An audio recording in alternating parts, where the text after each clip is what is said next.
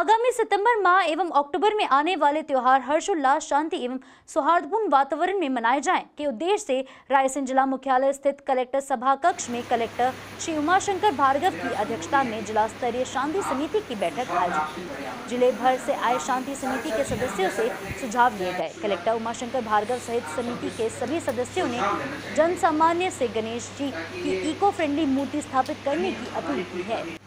SP Shrimati Monika Shukla ने समिति के सदस्यों से ज़िले में कानून एवं शांति व्यवस्था बनाए रखने में सहयोग करने की अपील करते हुए कहा कि परिजन या नागरिक इस बात का विशेष रूप से ध्यान रखें कि बच्चे अकेले झांकियों को विसर्जन के लिए न जाएँ।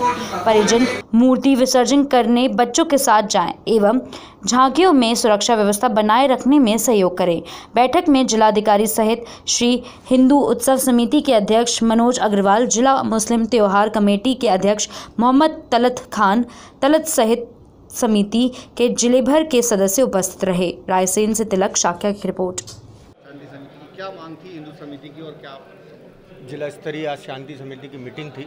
चूँकि शांति समिति मीटिंग में आगामी त्यौहार हैं गणेश चतुर्थी का बड़ा पर्व आ रहा है जो हिंदू समिति मनाती आ रही है।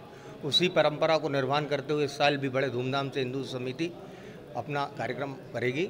उसके संदर्भ में सबसे पहले मैंने प्रशासन को संज्ञान में ये लाया कि एम रायसेन में सत्तर से लेकर अस्सी झांकी विराजित होती हैं। झांकी के दौरान बिजली घर के द्वारा कोई भी तरह की कटौती ना हो। यदि मेंटेनेंस के नाम पे भी कटौती होती है, वो दिन में कर ली जाए।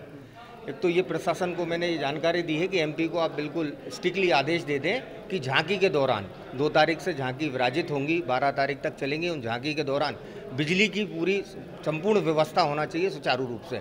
और बिजली मेंटेनेंस के नाम के जो भी कटौती होती है, वो दिन में कर लें। आकस्मिक फॉल्ट के लिए तो कुछ कह नहीं सकते। दूसरी, छोटी झांकियाँ जहाँ बैठी हैं, चूँकि वर्षा ज़्यादा हुई है उसको लेकर बच्चे भी इसमें, गणेश जी में हिस्सा लेते हैं, लगाते हैं झांकी। उनकी झांकियाँ व्यवस्थित रूप से लग जाएँ।